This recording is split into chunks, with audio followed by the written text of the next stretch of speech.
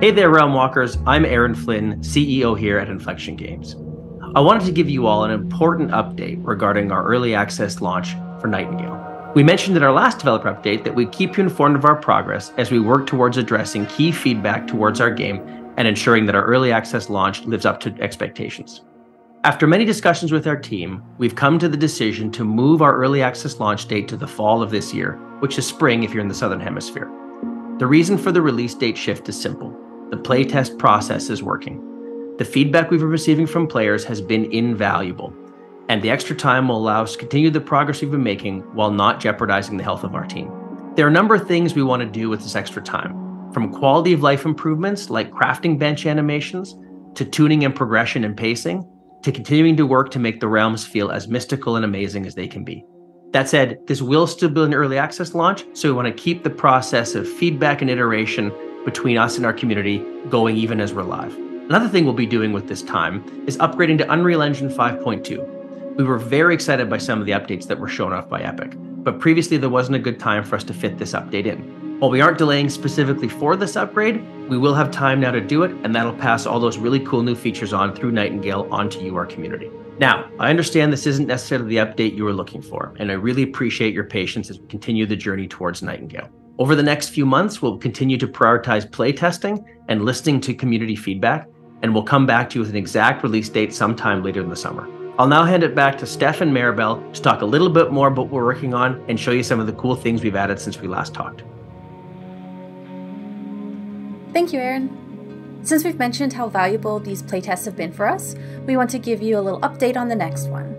We previously mentioned that we were going to do a playtest at the end of May, but this has been bumped back a week or two just due to some technical hiccups. With that said, we have bumped it up from 7,000 invites to closer to 10,000 or 12,000 new people on top of the previous 2,000 or so. While this amount won't cover all of you who filled out the survey, as there were over 50,000 of you, it is a significant chunk. So make sure that you're checking your inbox and your spam over the next couple of weeks here and if you want to know the exact day that the invites are being sent, make sure that you join our Discord. We'll put the link in the description. These invites will come from someone with the playnightingale.com domain name, so make sure that you're double checking to make sure that the invite is legitimate and safe. This next playtest will be the longest one to date, as it will cover both two full weekends as well as all of the weekdays in between. We're hoping that this will let more playtesters get into later game content and give more feedback on those areas. As with previous playtests, this will be a closed one, so don't expect any videos or streams of it just yet, but we will try to share some insights when it's all completed and done. Now let's talk about some of the things that have been implemented in the game. Something that was frustrating the team for a few months was texture corruption. Although sometimes on screen it looked pretty actually. It made the game feel a bit psychedelic, but that wasn't quite the intended aesthetic. And sometimes it snapped players out of the experience, which is something we do not want to do. Luckily, the workaround was just to close and relaunch the game, but obviously that was just a temporary solution. We didn't want that to be the way it was. But we're happy to say that this has been fixed and we haven't seen the issue since. The other major issue from this last playtest was that players were having an increased amount of graphic crashes. But we've been testing this out a lot internally to see what the cause was, and luckily our team has identified one of the problems, and we've already seen a 50 to 70% decrease in GPU crashes with this workaround. But we're working with external parties on all fronts, such as Epic and graphics card manufacturers, to fully resolve the issue because uh, it wasn't just one thing that was causing the GPU crashes, it was um, a blend of different factors. So now let me talk about some of the things that we've added to Nightingale. So Nightingale, you use workbenches for different things. You could craft things,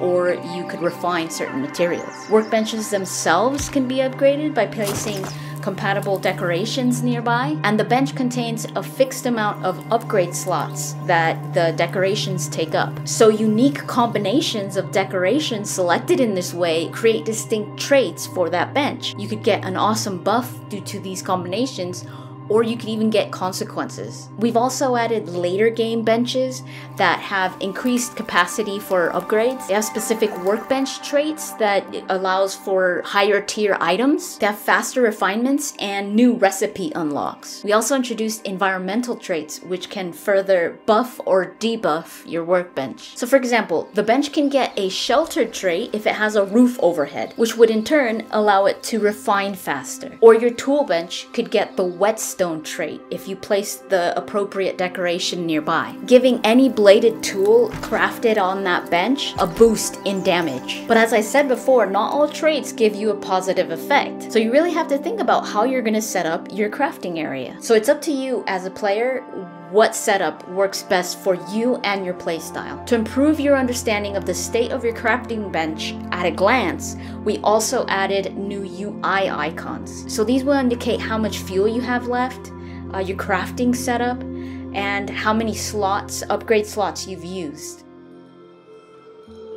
creatures. One of my favorite things in the game. We've added a few, um, and I'm so thrilled that I get to talk to you about these. Some have already been introduced, maybe shown a little bit, uh, some glimpses in our socials. For those of you that have missed it, here are um, some of the new creatures that we've added in the realms. We have the Hexamongrel. This is one of my favorites. And the Elephas, a particular favorite of our art director Neil Thompson, can now be found in the desert. A new addition to the Swamp Realm is the Leporidon. And if you're not a fan of bugs, trust me, I'm not either, you could pause the video now and skip to the timestamp in the description. But for those of you that want to see the creepy crawlies, the Caparis the Legionist and the Selkit can now be found in the desert. We'll be sharing some more information on these critters in the upcoming weeks on our socials, so make sure that you follow us.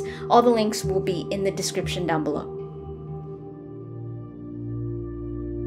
And that's everything for this developer update. Thank you all so much once again for your patience and understanding. Game development isn't easy, but your enthusiasm and your support really makes a difference.